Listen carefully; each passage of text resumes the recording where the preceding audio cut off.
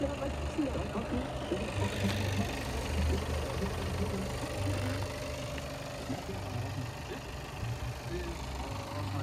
vil, jeg vil faktisk gerne øh, sige Tisted. Og der er meget nordpå. Okay. Jamen altså, øh, Christoffer, hvor er du fra? Jamen altså, hvis jeg siger Slejtang. Nej, Kolding! Kolding, mand. Sådan der! Ved du Kristoffer? Det synes jeg var rigtig, rigtig godt. Det, det, øh, det understreger en pointe, som jeg havde på, på, på, øh, på fornemmelsen. Nemlig, at Lasse og Liva er i lidt samme sted. Men Så kan jeg, så kan jeg ramme snart. Nu må må jeg sige til, når du ser, hvad det sjoveste ved Bamsegrøn-historien er. Nå, ah, det, det, er lige pludselig, lige pludselig så når vi det, men vi kan desværre ikke nå det, der kan stå, vi er rigtig rart.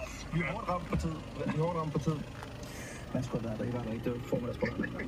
Danmarks bedste faktisk.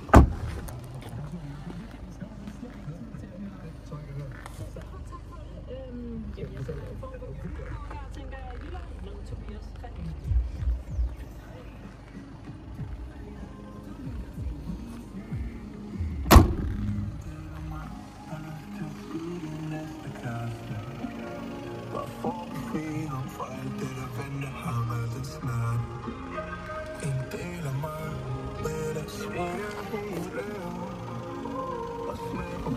Uden på kanalerne Jeg forbander dit navn. Jeg forbander dit navn Og lad det blive på min telefon Som er dårligt kende Jeg forbander din bil Med alle dine brændelser